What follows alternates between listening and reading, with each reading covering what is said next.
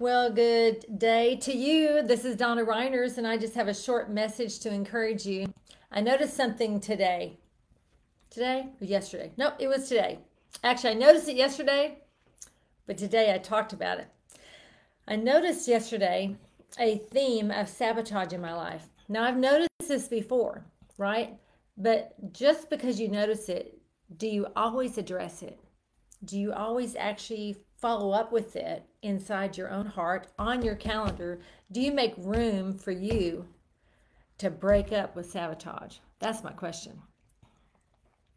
So, um, over the last few months, I've had a few things happen to me. Um, I've been addressing some additional things in my health journey. And it's been exciting, at times a little uh, confrontational for me because it's included things like skin. I mean, who wants their skin to have an issue, right? And so, as I've resolved um, some of it and then figured out the other components that need to be addressed, and actually identified someone who can actually help me over the next year, which is super exciting, right? When you can figure out what's happening with you from in a long term um, situation and have an actual plan, that's amazing, right? Well, I've, I've got the plan and I had the different components I need and uh, the different things I need to start my journey with. And, you know, I don't know about you, some people really um, are looking after their health, right? Some people look after it. Some people have been on this journey for a long time. And so, like me, you might have different types of supplements or different kinds types of companies that you use that that uh, feed you nutrients and things of that nature. Well, I'm adding something to that. But when I went to my counter after I opened up this product that I'm going to begin, I, I looked at my counter and went, oh my, how overwhelming.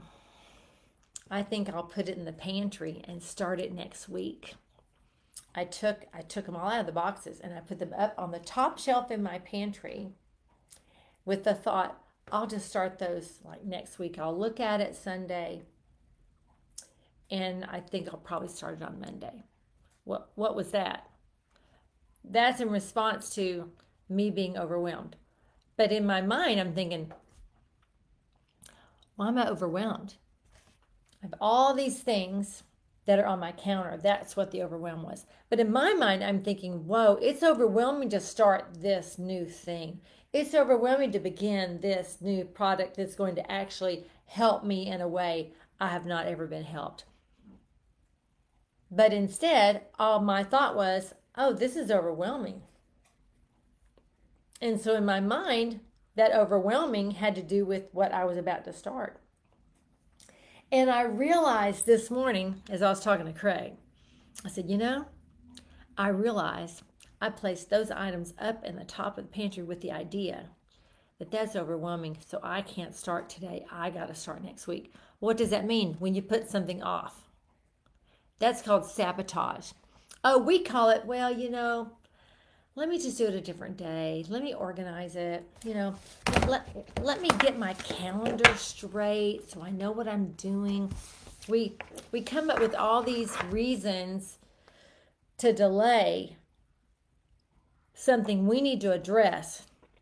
And we do that delay over and over and over and over and over and over and over and over again until your mind is a mess your house is a mess. Your yard is a mess.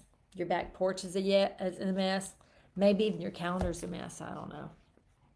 I thought, wow, Donna, you're attempting to sabotage. So I said, nope, we're not doing that. So I took a deep breath and said, no, actually, I'm not overwhelmed by starting that.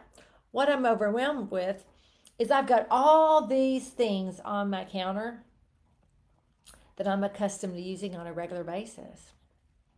What was overwhelming was adding one more thing onto this counter.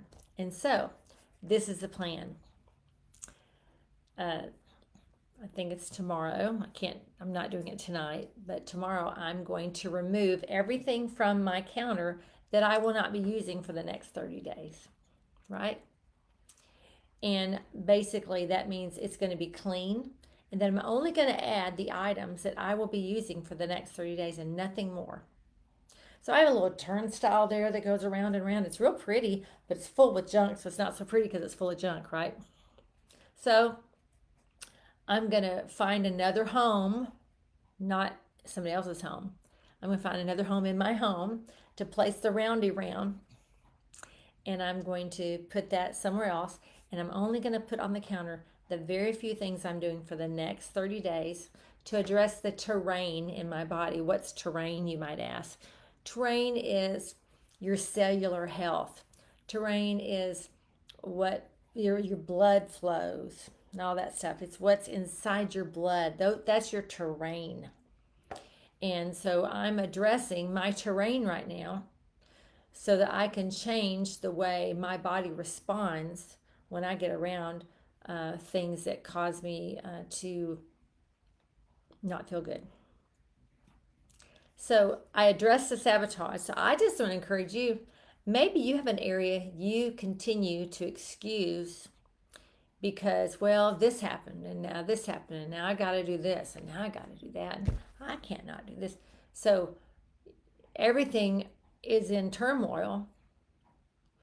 And, excuse me, low drink of water.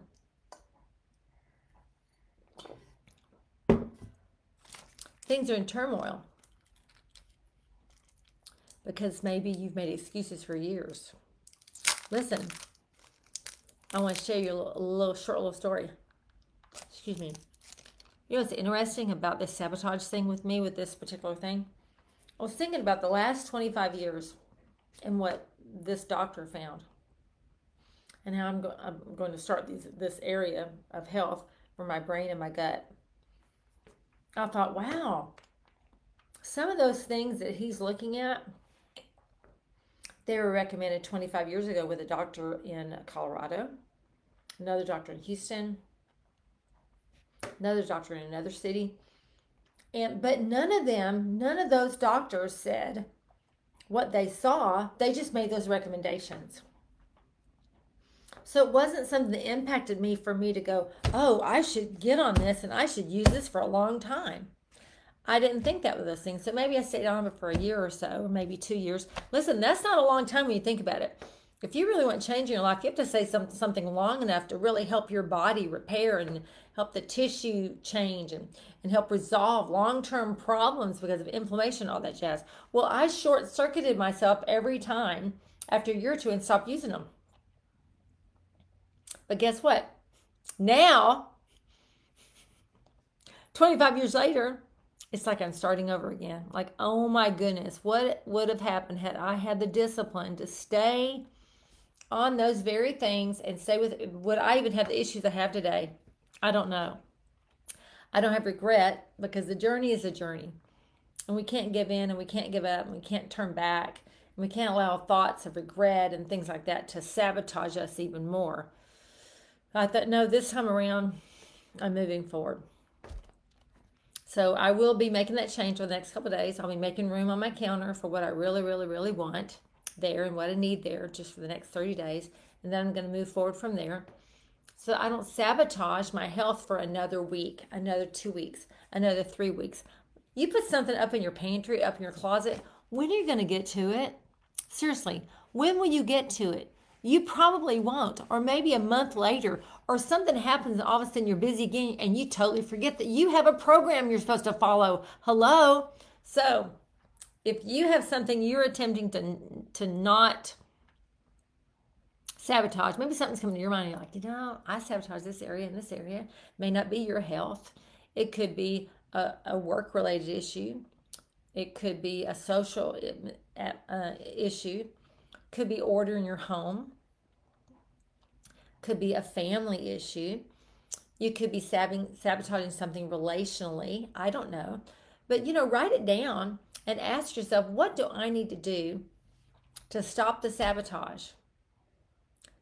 So I told myself yesterday and today, I'm breaking up with sabotage regarding my health. And let me tell you, that's not easy to do when you have other people you're cooking for and other people you're doing things for. It's not like, well, you know. So you have to figure out where you are while you're on the way you're going regarding the responsibilities and the different things you have in your life. I mean, I travel quite a bit. I have people I work with on a regular basis. So I have to show up, right? So I can't sabotage. Um, I have to make room for this, these steps I need to take, so that I can continue to show up. I can continue to be responsible. I continue can continue to earn an income. I can continue to live and move and breathe and have my being, you know? So, anyway, I bless you today. I pray you break up with your own sabotage. If this resonates with you, feel free to comment below. Yeah, that makes sense or something, or direct message me. I don't care. Love to know if uh, you see something about a theme in your own life that you want to address. It's always smart for you to address them. I'm going to address mine. Maybe we can do it together. Anyway, blessing. This is Donna Reiners. Till soon. Bye.